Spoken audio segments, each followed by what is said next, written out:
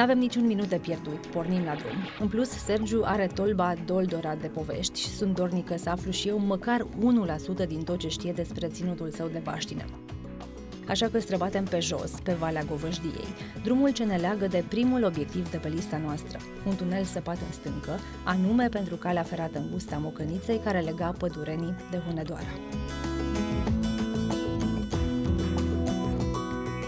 Nici n-am ajuns bine la primul nostru punct de pe hartă și da. ne-am uh, și oprit. Bine, e clar că aici fiecare locșor are povestea lui și sunt sigură că oprirea noastră are un sens.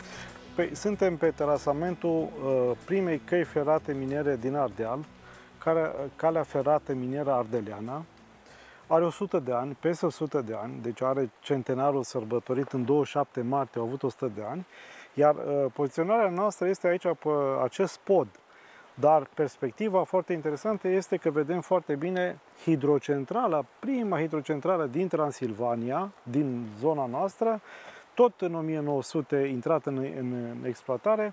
Acolo se vede casa turbinelor, turnul de egalizare și imaginează că pe acel traseu este acel canal de aducțiune, canalul de fugă, cum se numește, iar uh, uh, curentul produs uh, aici în hidrocentrală a fost folosit la minele de fier și la uzine de fier din Hunedoara. Păi asta voiam să vă întreb. Deci 1900 ați spus hidrocentrală, asta înseamnă că la momentul respectiv se producea curent Absolut. electric aici. Deci noi în Ghelar am avut curent la public, la bec și apă la dudă, la țeavă, prin pompare.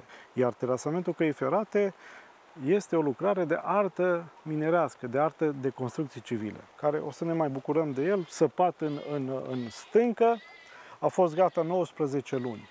19 luni, 12 km de cale ferată, cu trei tunele, dintre care tunelul Hălmare noi mergem acum de 745 de metri. Ei, ăsta e un motiv da. numai bun să sărbătorești centenarul, bag de seama? No, noi facem lucrul ăsta. Mergem da. mai departe. Da.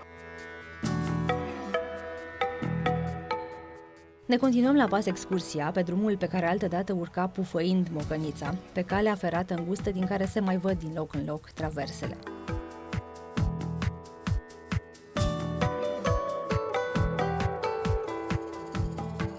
Inițial, drumul de fier lega mina Retișoara de la Ghelari, de furnalul de la Govăjdia.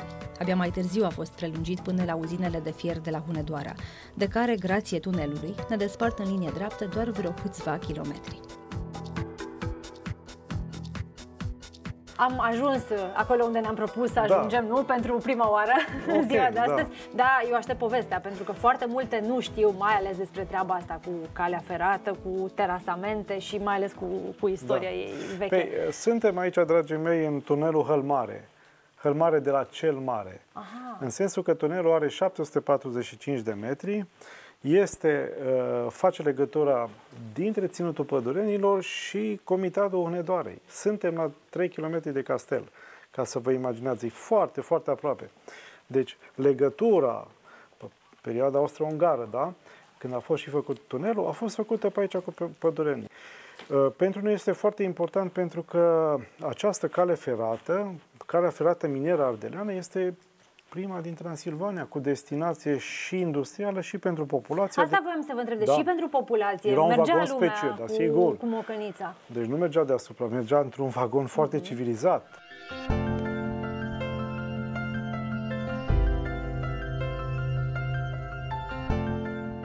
N-aș putea rata pentru nimic în lume incursiunea în întunericul ce scaldă tunelul, cu promisiunea luminiței de la capăt.